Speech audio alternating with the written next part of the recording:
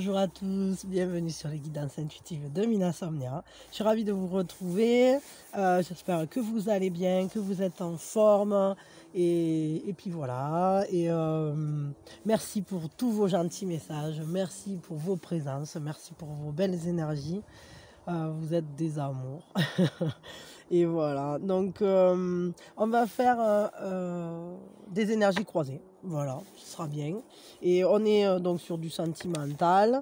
Pour ceux qui, ont, qui ont quelqu'un dans le cœur, bah, a priori, ça devrait parler de cette relation-là. Ça peut arriver parfois que ça parle d'une relation précédente ou de la, de la relation euh, future aussi.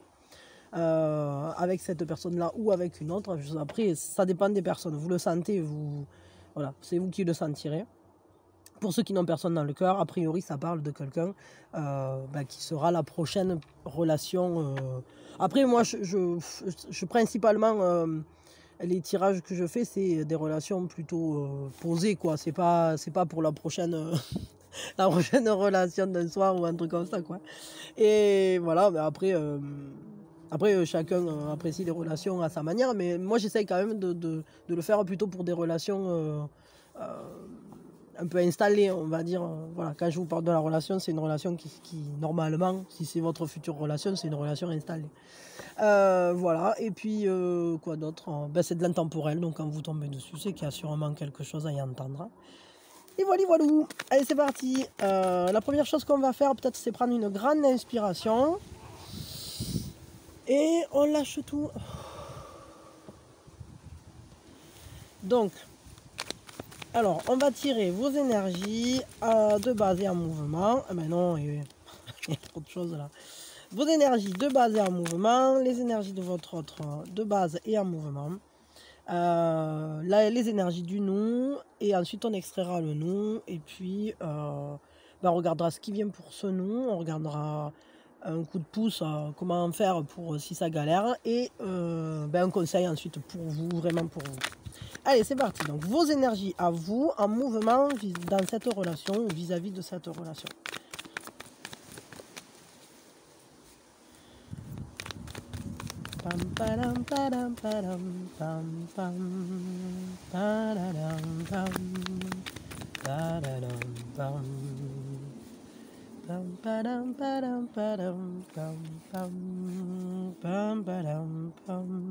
Vos énergies en mouvement.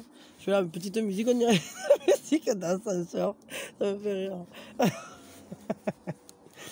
Allez, les énergies de votre autre de base vis-à-vis de la relation.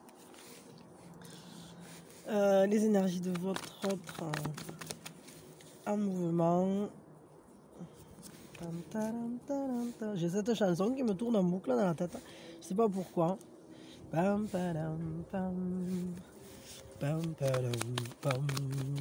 Le nous.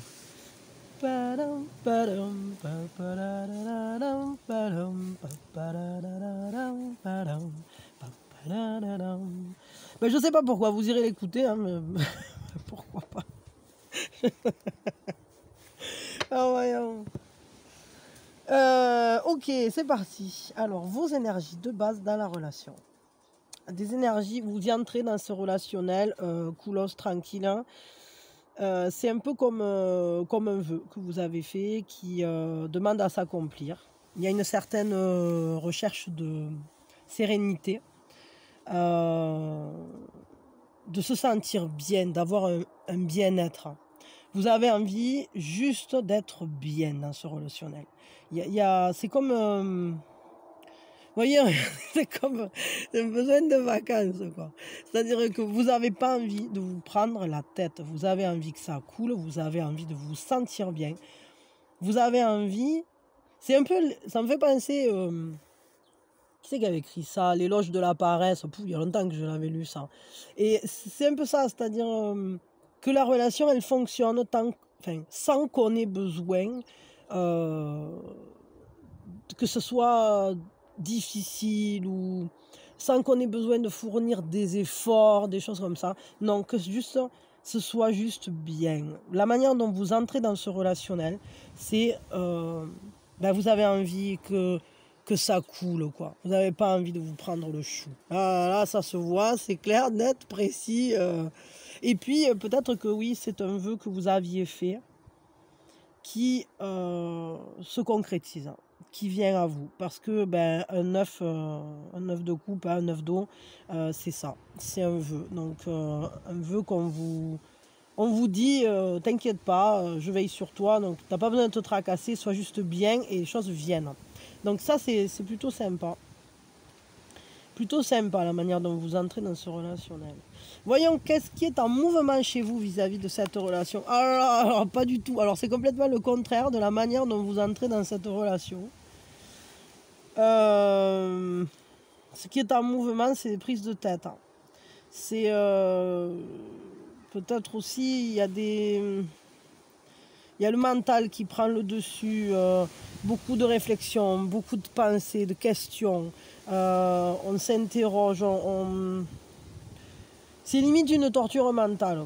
C'est-à-dire qu'il y a peut-être des pensées récurrentes, des pensées, euh, j'allais dire, presque étouffantes, toxiques. Alors, c'est pas que la relation soit toxique, hein, c'est juste que vos pensées sont en surcharge. Il y a trop de pensées. Il faut euh, réussir. Enfin, là, on voit en tout cas qu'il y a, il y a une surcharge mentale. Quoi.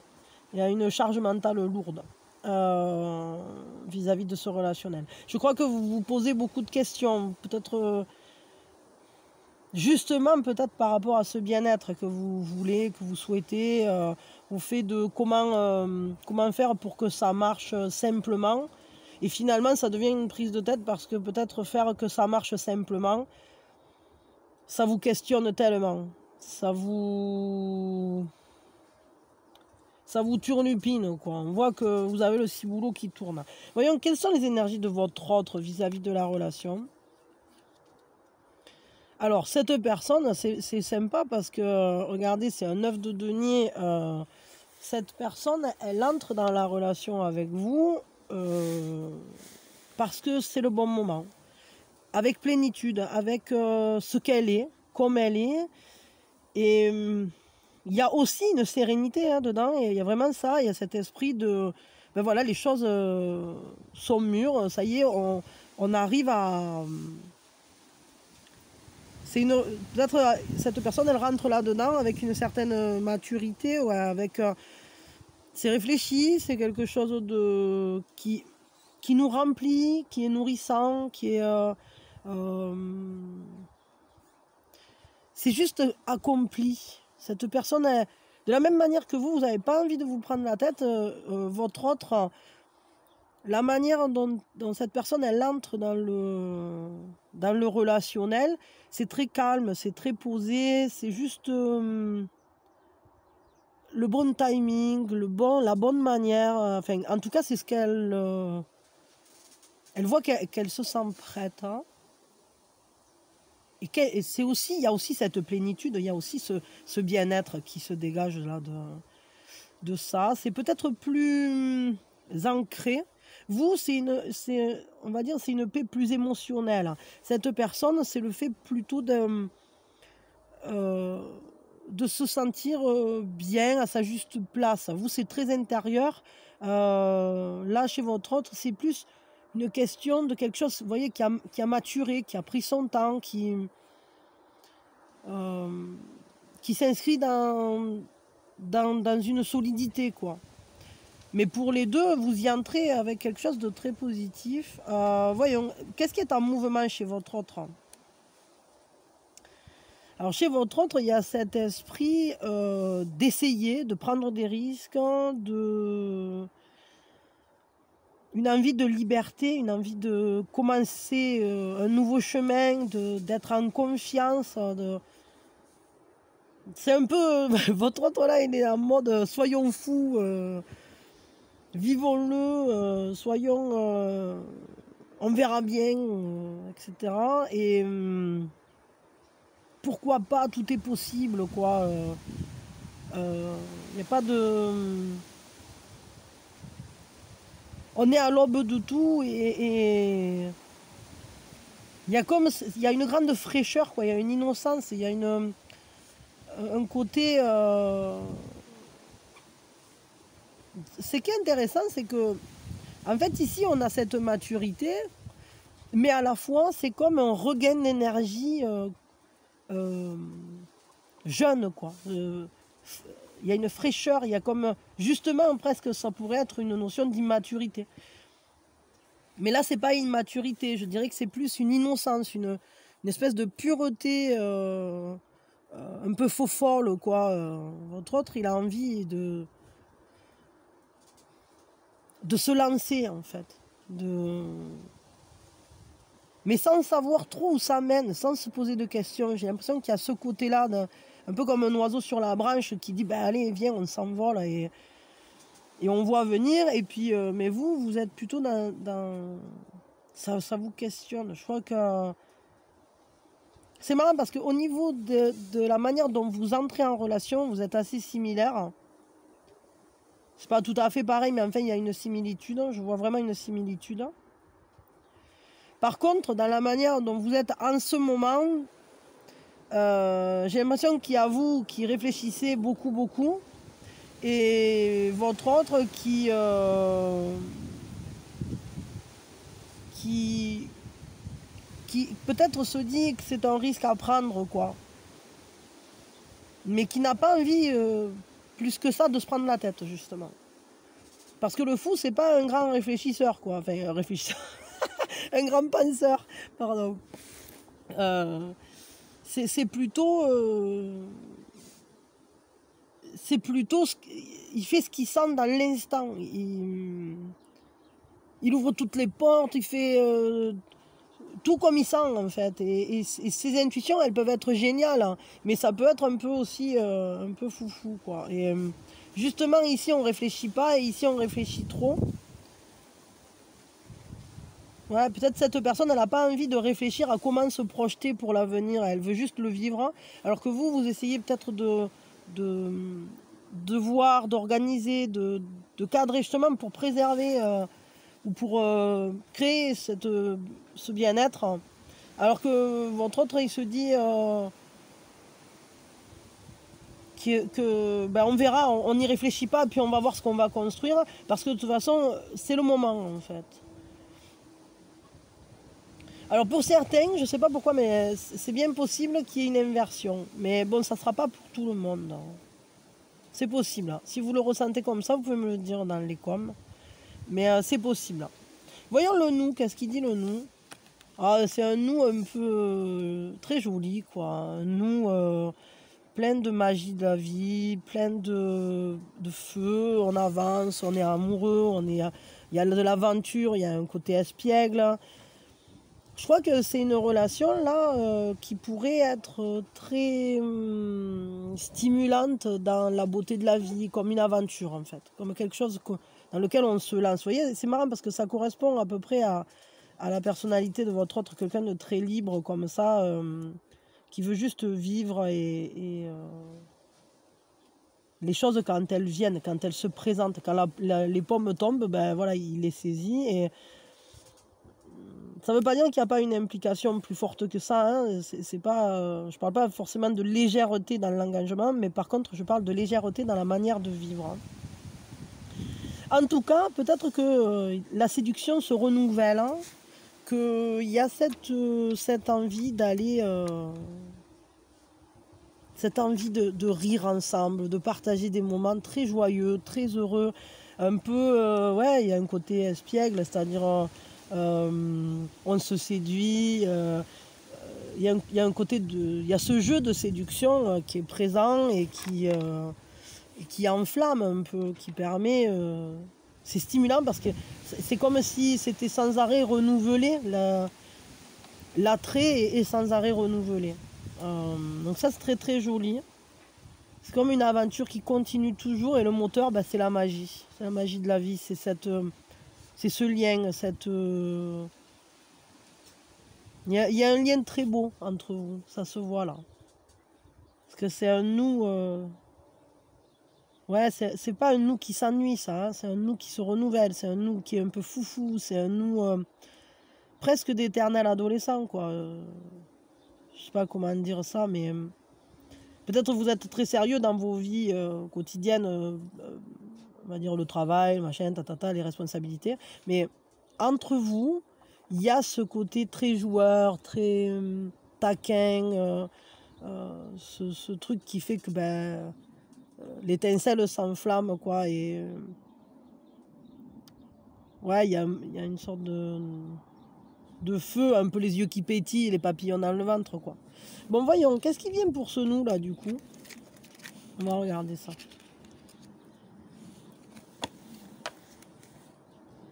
Qu'est-ce qui vient pour ce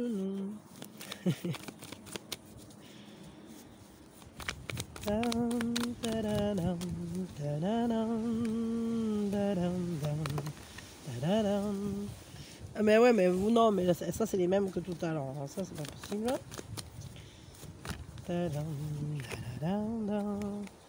Bon, mais non, arrête de ressortir. Qu'est-ce que c'est que j'ai pas dit qu'il fallait dire peut-être? Pas. Ou alors c'est pas avec celui-là Celui-là, d'accord. On va faire avec le Cosmo. Cosmo, Cosmo, Cosmo, Cats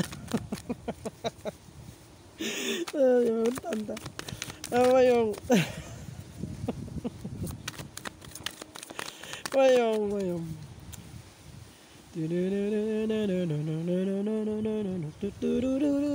Alors, qu'est-ce qui vient pour sonner?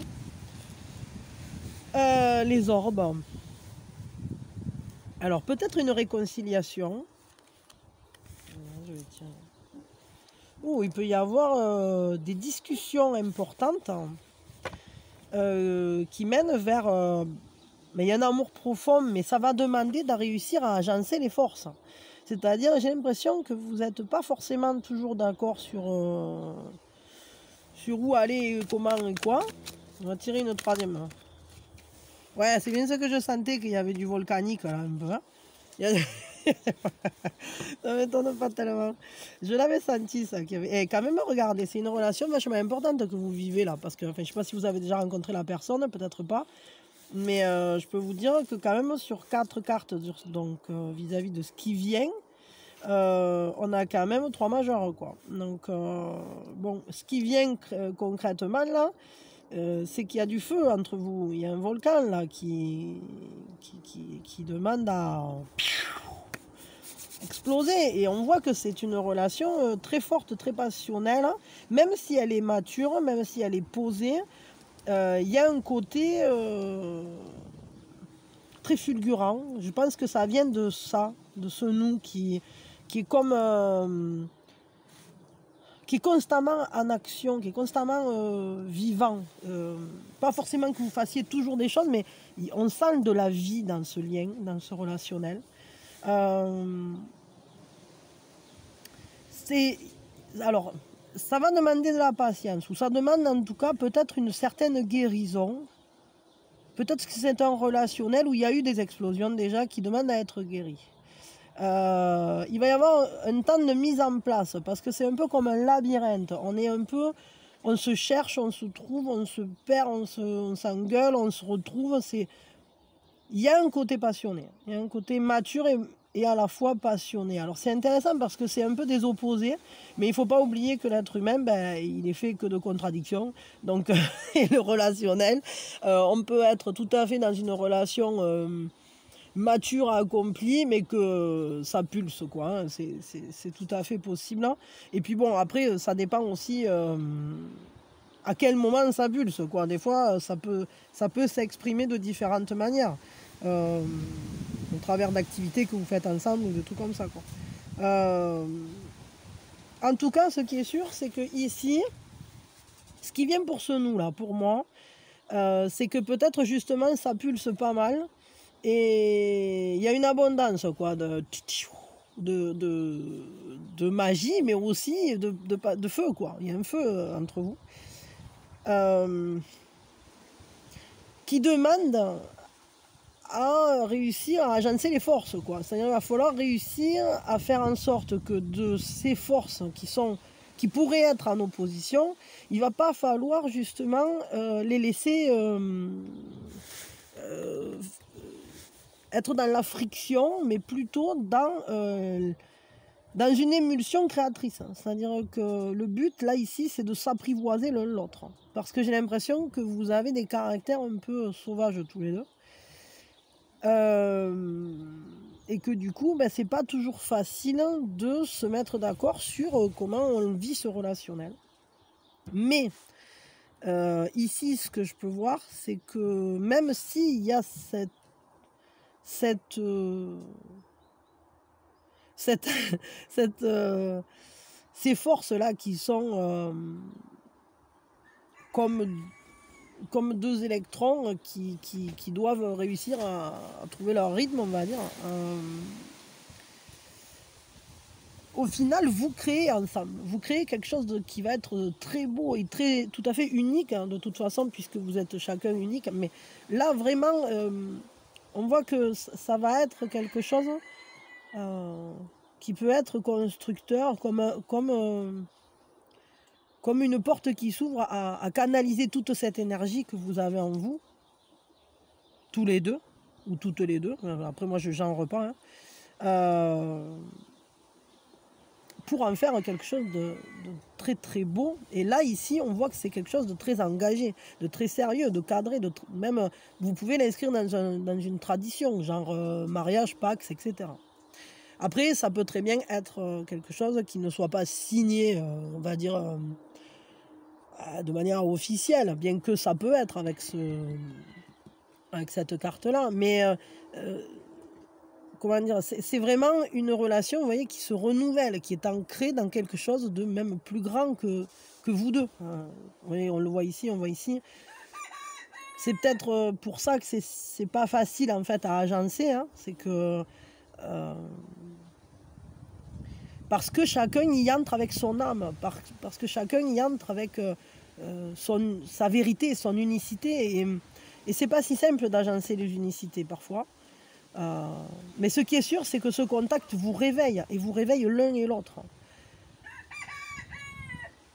La communication est forte, hein, très très forte et très importante. Et hum, il y a une sagesse qui se met en place. C'est-à-dire que parce que vous voulez euh, être ensemble, alors vous vous éveillez, alors vous avancez, alors vous progressez sur votre chemin pour vous trouver. Vous guérissez de vos blessures passées ensemble ou, peut-être euh, chacun de votre côté aussi, parce que c'est possible que vous ayez ramené des, blessures passées et qu'il faille euh, les guérir et que cette relation vous aide à les guérir elle vous met le doigt sur euh, voyez, les, foyers. Euh, dire les foyers infectieux en quelque sorte. En tout cas, c'est une relation qui éveille, c'est une relation qui vous ouvre à la compréhension de quelque chose de plus grand, mais c'est une relation surtout qui va vous permettre de créer quelque chose justement où les forces seront équilibrées de manière à générer euh, votre propre univers à tous les deux. Et ça ne m'étonne pas du tout parce qu'il y a cette magie entre vous, il y a cette magie de la vie, il y a, une grande euh, intensité relationnelle. Hein. Alors c'est pas facile hein, parce que là on est quand même sur trois majeurs. Trois majeurs, euh, il ne faut pas oublier que les majeurs c'est du travail. C'est toujours des étapes sur notre chemin de croissance. Hein. Mais c'est un relationnel qui fait énormément grandir c'est un relationnel qui a un nous merveilleux parce qu'il y a beaucoup de joie dedans. Euh, et puis surtout, moi ce que je vois, c'est que c'est une relation qui est justement très sérieuse tout en étant passionnée. C'est euh, parce que ici, on est quand même dans quelque chose de cadré hein, et, d'élevé. Euh, c'est-à-dire que c'est un engagement profond. L'amour est profond. L'amour est très profond. Et, quand vous vous retrouvez, ben, c'est peut-être aussi là que toute la douceur qui est en vous peut s'exprimer parce que vous vous donnez de la force. Hein. Et quand on se sent fort, alors on peut être doux. Euh, les moments où on rugit, c'est quand justement on se sent faible. Quand on se sent fort, on n'a pas besoin de rugir. Donc j'ai l'impression qu'en fait, quand vous êtes ensemble, ça vous met le doigt sur vos faiblesses pour réussir à les surmonter. Euh, je parle de vos faiblesses personnelles, chacun de votre côté. Et ensemble, vous arrivez à, en faire des forces. Et c'est dans ce sens-là que ça vous guérit. Mais ça pulse, hein, ça pulse. C'est quand même. euh, Parfois, on peut même euh, être un peu méfiant. Quoi. Il y a des coulées de lave. Quoi. Ça, ça... ça, ça, ça- peut être intense. Quoi. On voit qu'il y a une grande intensité dans ce relationnel. Euh, Parce que bon, le 9 de Braise, c'est quand même un volcan. Quoi, hein. Bon, un volcan. ça demande qu'on y mette euh, toute son attention, quoi, parce que bon, le but, c'est pas de, de se cramer le popotin. Bon, voyons, on va regarder un conseil. Si vous connaissez déjà cette personne, non, c'est avec ça qu'il me faut. Euh, si vous connaissez déjà cette personne, que vous vivez déjà la relation et que ça galère, mais si peut-être euh, bah, pour aussi pour plus tard, pour quand vous la rencontrerez, ça peut être intéressant si ça galère, d'avoir quelques conseils.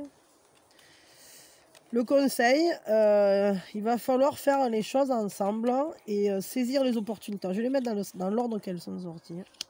Ah, mais j'avais pas vu qu'il y en avait plusieurs. Oh, ouais, ah ouais. C'est un attachement super fort. hein, Super fort. Euh, il faudra faire attention peut-être parce que c'est très passionné. On le voit là. C'est un relationnel très, très passionné, très engagé.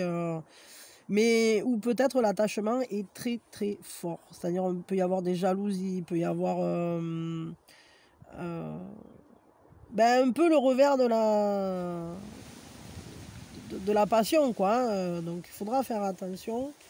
Mais quand même, regardez, en dos de deck, j'ai le 4. hein. Donc vais mettre là. Mais euh, ouais, le 4, c'est un engagement. Je vous dis, c'est un engagement très très fort. Mais il est tellement fort qu'en fait, euh, le lien peut être euh, bien. Comment je peux dire ça Accrocheur, quoi. On, on veut pas se lâcher. On se. Peut-être des fois, on peut se, même ça peut être dévorant, quoi, ce passionnel. Donc il faut faire attention à ça. Parce que euh, que ça soit passionné, bah, à certains moments, euh, bon, bien précis, c'est pas gênant, mais euh, évidemment, c'est même plutôt favorable. Mais il y a des moments où cet élan, là, comme ça, très pulsionnel, peut devenir un peu intrusif. Donc il faut faire attention. Par contre, ce qu'il faut surtout, c'est ne pas s'enfermer. Faut pas s'enfermer. Il faut, se, réussir à ne pas s'enfermer dans des situations euh, complexes. Ouais, regardez, vous voyez, il y, a, alors, il y a le vent qui est en train de me tirer les cartes. hein. Et c'est ça. C'est-à-dire il ne faut pas s'accr- s'accrocher à ce qu'on a déjà créé. Il faut s'autoriser à toujours recréer, toujours euh, recréer l'opportunité, recréer euh, ensemble, travailler ensemble à, à- à cette construction constante, à réassembler, à re... Et il faut restructurer régulièrement, je crois, parce que euh, il ne faut pas avoir peur de lâcher ce qui... Alors attendez, parce que j'ai une carte qui est partie en pas ou pas. Attendez, je vais la chercher. Alors en fin de compte, il y en avait deux. Il y avait le droit de coupe là, que j'ai posé là. Donc il nous parle de mettre de la joie, de toujours s'axer sur la joie, de ne jamais oublier que la joie est le plus important. Parce que si on reste accroché comme ça en ayant peur, euh, en manquant de confiance en quelque sorte, parce que quand on reste accroché à quelque chose très très fort, c'est parce qu'on n'a pas la confiance. Donc il faut réussir à lâcher, recréer euh, toujours de nouvelles, de nouvelles opportunités dans ce relationnel, toujours euh, semer en fait à chaque fois tout ce que vous voulez voir grandir. Et, mais comment je peux dire ça? Ne pas hésiter à, à franchir des étapes quoi. C'est-à-dire que hum, pour, pour avancer dans ce relationnel, il faudra, et là il y avait celle-là aussi, il faudra communiquer vraiment beaucoup parce que euh, c'est sur la base de, de cette joie et de cette euh, manière euh, euh, de, de communiquer pour, pour, pour être toujours vainqueur en fait des problématiques. C'est-à-dire toujours vaincre les enfermements dans lesquels on peut parfois se, se mettre. euh,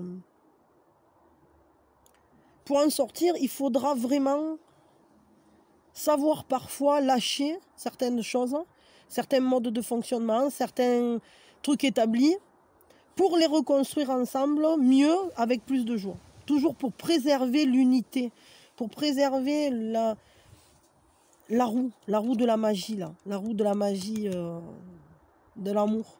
Parce que à partir du moment où qu'on commence à figer les choses, alors ce personnage-là, il n'est plus en mouvement et il ne peut plus, il n'y a plus de moteur. Donc il faut que cette roue de la magie, de la, de l'amour, de la vie, de, de, la stimulation, elle reste en, en mouvement. et ça vous permettra de triompher. Parce qu'à partir du moment où qu'on s'enferme dans une boîte où on tient les choses trop serrées, alors, euh, ou trop statiques, on n'avance plus et c'est là que les choses deviennent blessantes. C'est là qu'on on, va se trouver face à des murs et parce qu'on commence à trop être attaché à certains fonctionnements. Ou, et, d'ailleurs, on finit par euh, donner les rênes de, de notre propre bonheur à quelqu'un d'autre. Et c'est pas ça qu'il faut faire. Il faut vraiment que notre bonheur s'agence avec celui de l'autre et constamment comme une roue. Euh, que ça circule, qu'il y ait de la circulation, qu'il y ait de l'air, qui est... Et l'engagement, il est présent. Hein. Et l'amour profond aussi, on l'a vu. Et, ça veut dire que vous avez un relationnel là avec une base très forte, hein.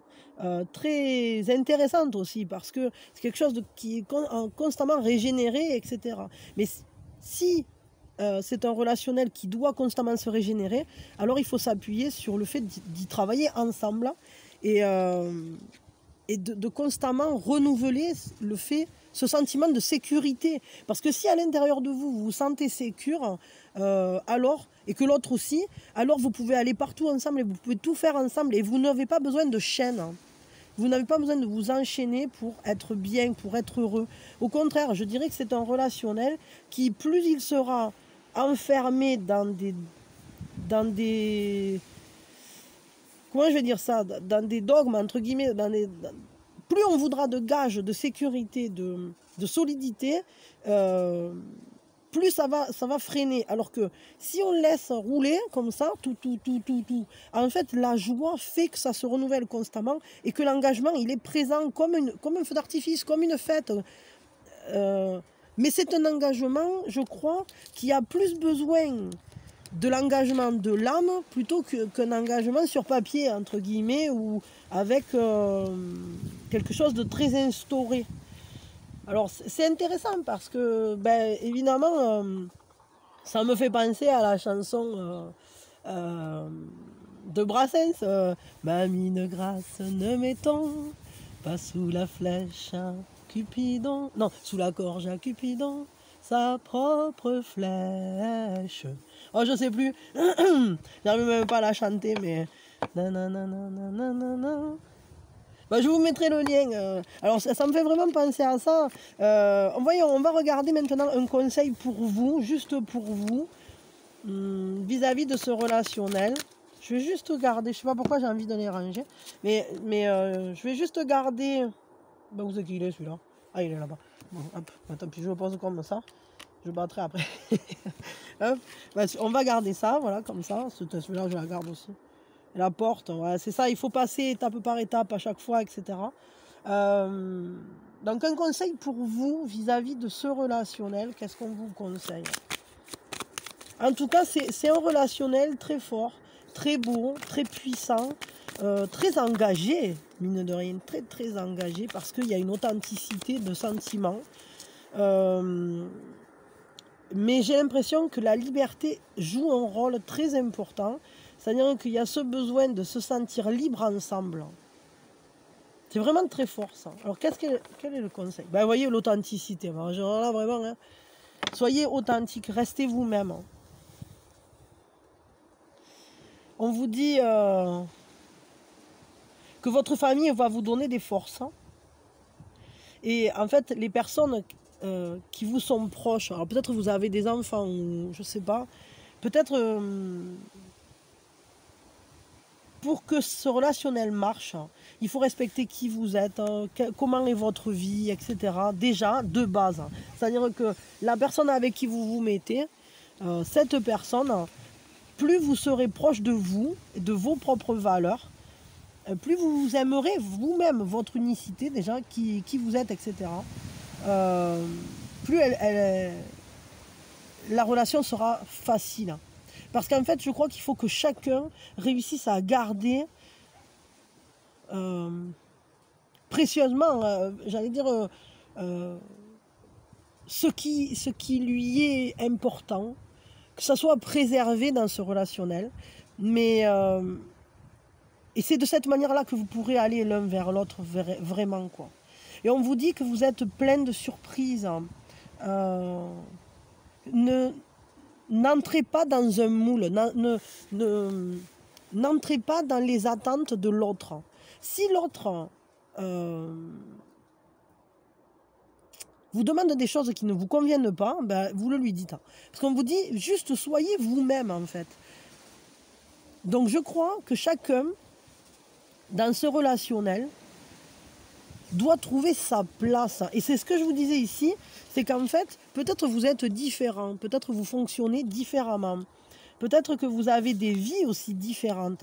Euh, peut-être l'un de vous, je ne sais pas moi, est très statique, l'autre est un baroudeur. Peut-être l'un de vous a une, est très famille et l'autre est euh, euh, comment dire, un solitaire ou une solitaire. Hein. vous voyez ce que je veux dire? Mais c'est pas pour autant que ce relationnel, il a justement besoin que chacun porte son unicité avec puissance pour réussir à créer ce relationnel incroyable qui est nourri de ça. Et vraiment, il faut surtout pas que l'un et l'autre fassent entre guillemets des efforts pour entrer dans le moule de l'autre. que personne ne réponde aux attentes, aux attentes de l'autre euh, si ça va à l'encontre de sa perception de la vie. Donc ce qu'il faut, c'est réussir à être soi, à rester soi, pour marcher côte à côte, en se donnant la main et en avançant dans une grande joie, euh, parce qu'il y a beaucoup d'amour, parce qu'il y a beaucoup de passion, parce que l'engagement est puissant. Mais, il est puissant parce que le moteur, c'est justement le fait d'être différent. Et si il s'avérait que vous commencez à trop ressembler à l'autre, alors le feu va s'éteindre. Parce que, euh, ce qui fait ce feu, c'est chacun, euh, c'est le fait que vous soyez différent. C'est le fait que vous soyez unique. C'est pour ça qu'il ne faut pas essayer de, rentrer dans le moule ou dans les attentes que l'autre a de vous. Euh, ni et inversement. Hein. C'est-à-dire que si vous êtes euh, différent, si vous avez des opinions différentes sur certains trucs, etc., alors il faudra peut-être pas essayer de convaincre l'autre pour qu'il se range euh, de votre côté. Il faudra surtout réussir à vous rester vous-même pour que ensemble vous puissiez être tellement bien en étant si différents. Voilà, je crois que je vais dire ça comme ça. Bon, bah, écoutez, moi je m'arrête là. Je vous fais de gros bisous. Je vous souhaite vraiment une très très belle relation. J'espère que ça vous a parlé. Vous m'en parlerez. C'est un relationnel très particulier mais très intéressant. Euh, mais très beau, très très beau et très euh, très fort. C'est vraiment un relationnel très fort. Donc je vous souhaite beaucoup de joie, beaucoup de bonheur. Et si vous n'avez pas encore rencontré cette personne, attendez une seconde là. Pardon, il y avait mon petit qui voulait un truc et il n'avait pas là, c'était urgent, quoi. Bon, c'était pas si urgent que ça en réalité, mais c'est toujours pas sympa, il est petit. Euh, eh ben, regardez, vous voyez la famille, c'est-à-dire que si pour vous, hein, moi ça me donne. Et puis par terre, il y avait cette carte. Alors ça, c'est super chouette parce que c'est un 10 de coupe et ce qu'on vous dit, ben là, c'est profitez-le ce bonheur parce que c'est pas parce que vous êtes différent, c'est pas parce que vous avez pas les mêmes opinions, pas la même manière de vivre, pas. Vous êtes différent. Mais regardez, le lien, il est là que vous êtes ensemble, où que vous soyez, le lien il est fort. C'est un, lien de, de bonheur absolu, de, complémentarité euh, ultime. Donc c'est très très beau, vraiment. Euh, ce relationnel, c'est vraiment un relationnel qui sera accompli ou qui est accompli. Euh, donc il faut le vivre pleinement en fait. Regardez, d'une main à l'autre, on voit, il y a cet arc-en-ciel, ensemble, vous, vous générez un immense bonheur. Donc, mais voyez ce que j'allais dire, c'est que, ben, voyez si vous avez euh, une famille ou peut-être que, en gros, euh, les choses que vous faites passer en premier pour vous, parce que c'est très important, euh, il ne faut pas que ça vienne prendre la place de quoi que ce soit, parce que, je je sais pas comment dire, c'est pas gênant en fait. C'est-à-dire, vous pouvez vivre quelque chose, vous pouvez vivre un relationnel qui soit très beau et très, très, très fort, même si vous êtes déjà avec votre propre vie qui est déjà bien prenante. je crois que c'est important de le comprendre ça. Et de la même manière, c'est pareil, si l'autre aussi a des choses dans sa vie qui déjà l'occupe beaucoup, ça n'empêche pas qu'il y a toujours une place pour vous et que vous, il y a une place pour l'autre.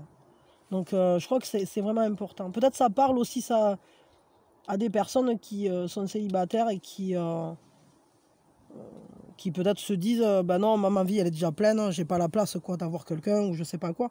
Donc là, ce qu'on vous dit, c'est vous allez être heureux. Donc ce relationnel, ben, quand il arrivera, ouvrez les yeux, ouvrez les bras.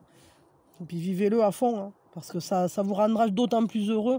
Justement, le fait d'avoir euh, déjà votre propre vie, alors vous ne comblerez pas un manque avec ce relationnel. Et c'est pareil pour l'autre. Si l'autre est déjà accompli euh, dans un certain sens dans sa vie, même si c'est une vie qui ne ressemble pas à la vôtre, euh, il n'empêche que le bonheur, il est à portée de main pour vous deux. Parce que justement, ça ne sera pas venir combler euh, un manque, ça sera juste euh, un choix d'engagement, d'amour très fort, de marcher ensemble. Ça viendra pas comme un besoin, ça viendra juste comme un bonheur. Bon voilà, allez, des bisous, des bisous, des bisous et beaucoup d'amour pour vous. Je vous dis à très vite hein, quand vous voulez.